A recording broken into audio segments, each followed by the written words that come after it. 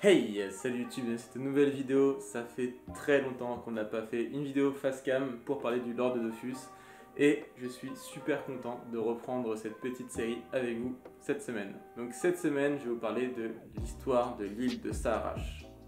Donc pour réaliser cette vidéo, j'ai tout simplement réalisé l'intégralité des quêtes de Saharash en lisant chaque détail, chaque texte, chaque information que je pouvais avoir dans le jeu pour avoir l'histoire la plus complète. Tout d'abord, il faut savoir que Saharash, c'était une île très verdoyante.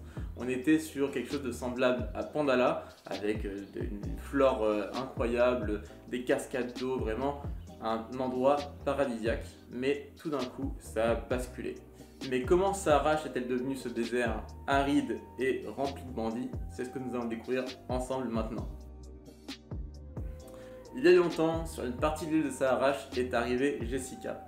Jessica, c'est une puissante hypermage dotée de pouvoirs exceptionnels qui a tout simplement bâti la fameuse pyramide de Saharash. Autour de la pyramide s'est bâtie la cité du sablier. La cité du sablier, c'était un endroit très paisible, une ville très paisible où euh, tout était pacifique et tout était prospère, tout simplement parce que en haut de la pyramide se trouvait le sablier divin. Le sablier divin, c'est tout simplement le cadeau qu'a fait le dieu Xelor à Jessica, étant donné que le dieu Xelor euh, considérait Jessica comme sa petite protégée, elle a eu le droit à ce cadeau pour sa ville. Et le sablier divin, c'est tout simplement un, euh, objet qui ralentissait le temps. C'est-à-dire que tous les habitants de la cité voyaient leur vieillissement se réduire. Donc du coup, on était vraiment sur une population qui pouvait vivre très très longtemps. Et du coup, ça rendait la ville très spéciale et évidemment très prospère. En dehors de ses obligations, Jessica profitait de son temps libre pour créer un portail. Elle voulait faire un portail qui allait traverser les mondes. Elle voulait rejoindre l'éther. L'éther dans le monde de Dofus, il se trouve entre le plan matériel, où on trouve le monde des douze, et le plan astral. Son but étant de retrouver Prosperus Elementor, le mentor de Jessica. C'est pendant une visite dans les terres que Prosperus Elementor, le mentor de Jessica, a tout simplement disparu. En effet, celui-ci prit connaissance de la balance cosmique, une force qui se trouve dans les terres et qui cherche toujours l'équilibre dans le cosmos. C'est justement cette force qui transforma Prosperus Elementor en le premier hypermage de Dofus. Jessica avait donc pour but de retrouver son mentor et de le ramener sur le monde des douze. Malheureusement, ça ne s'est pas passé comme prévu. En effet, Jessica mourut juste avant de pouvoir franchir le portail qu'elle venait de créer, tuée par Tal Kasha. Donc Tal Kasha, c'est simplement la leader d'un groupe de rebelles qui considérait que Jessica régnait mal sur l'île et du coup voulait s'en débarrasser en faisant un coup d'état. Le coup d'état a fonctionné car le groupe de rebelles a repris la possession de la pyramide mais malheureusement, il s'est encore passé quelque chose. Le sablier a été détruit. Il a même explosé, si on peut être juste. Il a recouvert l'intégralité de la cité avec du sable, du coup qui était contenu dans le sablier, ce qui a provoqué le début de la désertification. De plus, le nombreux habitants qui habitaient dans la cité se sont fait rattraper par le temps. En effet, ceux-ci avaient profité pendant de longues années euh, bah, d'un ralentissement de leur vieillissement et ils ont repris tout ça directement dans la face. Et évidemment, le fait que Jessica périsse a mis profondément en colère le dieu Xelor, ce qui a provoqué sa colère. Donc ce qui s'est passé, c'est que le dieu Xelor a simplement maudit toutes les personnes qu'il considérait responsables de près ou de loin, indirectement ou directement, de la mort de sa protégée.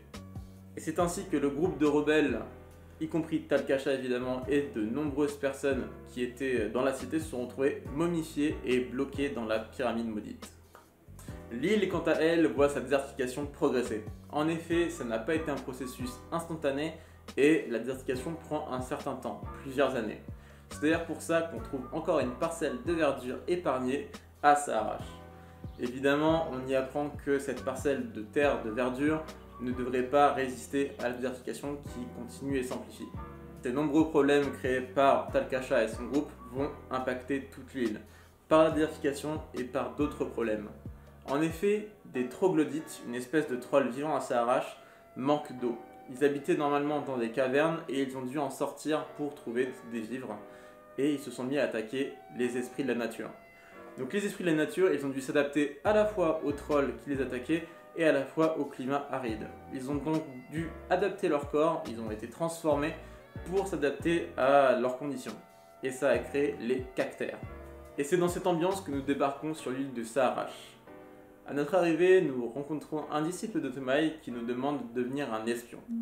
En effet, sur l'île, la corporation Parafiole est pleinement active. Cette corporation est dirigée par Simone Brella, une célébrité un peu vieille qui a créé cette entreprise dans le but de faire du profit. Elle dirige entre autres l'île de Saharash et son commerce, mais également euh, plusieurs autres éléments comme le donjon des truches. D'ailleurs, il est intéressant de remarquer que euh, la corporation de Parafiole est à l'origine également de l'empoisonnement de Kidiboom, la baleine qui se trouve dans le roc des Albatros. Voilà, petite anecdote. En tout cas, ce qui est sûr, c'est que Tomai pense que la corporation mijote quelque chose et que ça va pas être beau à voir. C'est pourquoi il nous demande d'enquêter et nous allons donc nous rapprocher des habitants de Saharash et des membres de la corporation afin de gagner leur confiance et qu'ils nous donnent des missions toujours plus proches du sujet. On apprend donc que la corporation réalise la majorité de son profit en vendant de l'épice. L'épice en Dofus est une sorte de drogue qui a un effet stimulant, voire qui peut ralentir le vieillissement des personnes. Et d'ailleurs, on apprend la composition exacte de l'épice dans les quêtes. Il s'agit du coup d'un mélange de sel, de sable, de déjection de sources inconnues, de pulpe pétrifiée de cactère mais également de piment de Saharash. On voit donc tout de suite le lien qu'il y a entre la pyramide et ce qui s'y est passé et l'espice. Au cours des quêtes, on se rend compte que la corporation Parafiole est simplement en train de réaliser des expériences scientifiques dans le but d'améliorer l'espice. Ils veulent la rendre encore meilleure, encore plus pure et toujours plus puissante.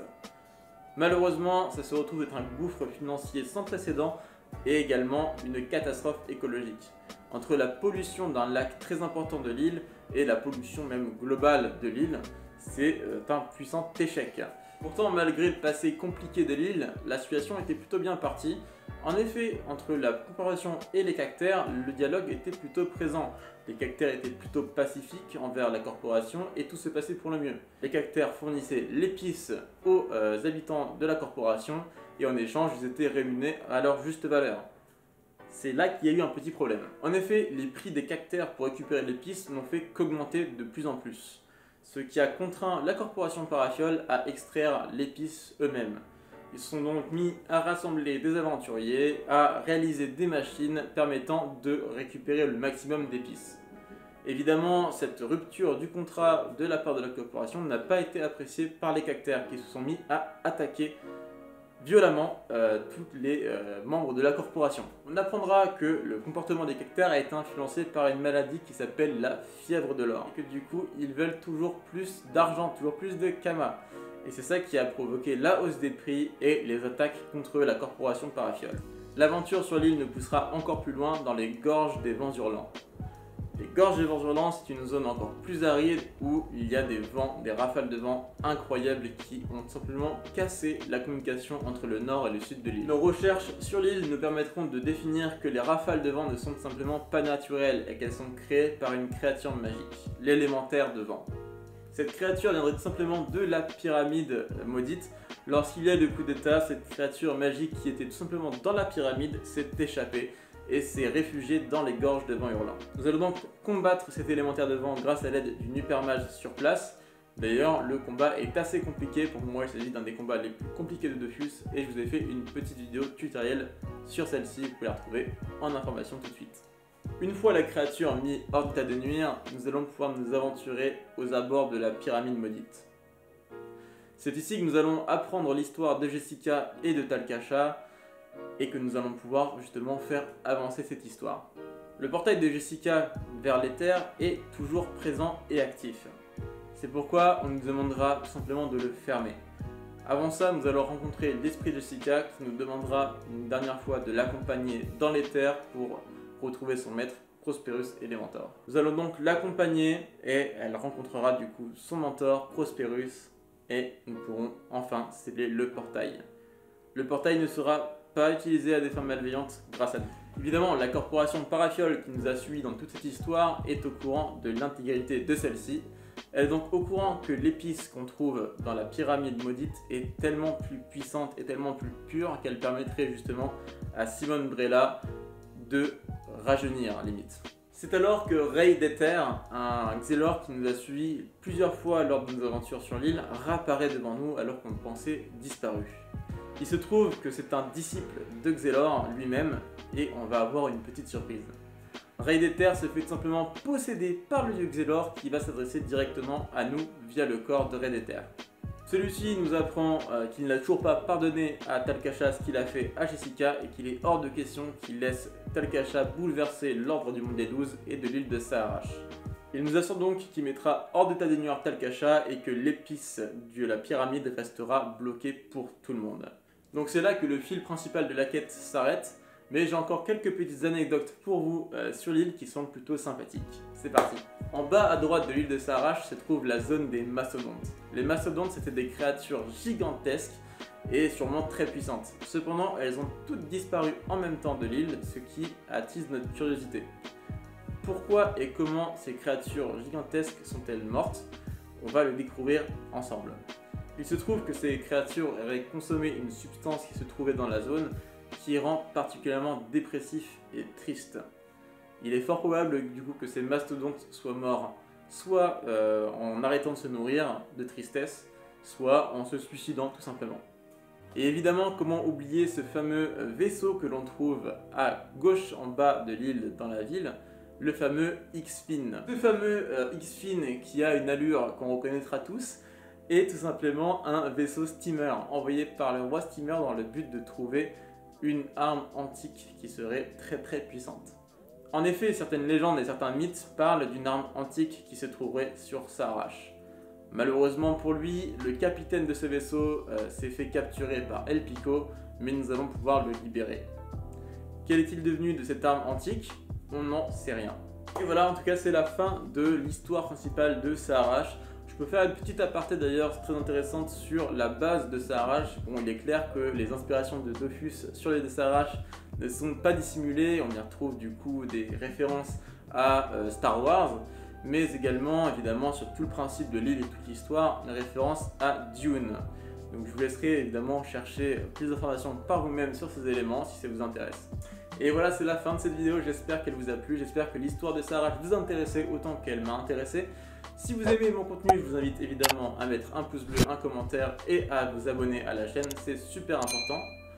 Pour ceux qui veulent, je suis euh, très régulièrement en stream sur Twitch, hein, vraiment de façon quotidienne, donc n'hésitez pas à passer un coup d'œil, les liens sont dans la description. Moi je vous dis à la semaine prochaine, c'était un plaisir de faire cette vidéo, ciao ciao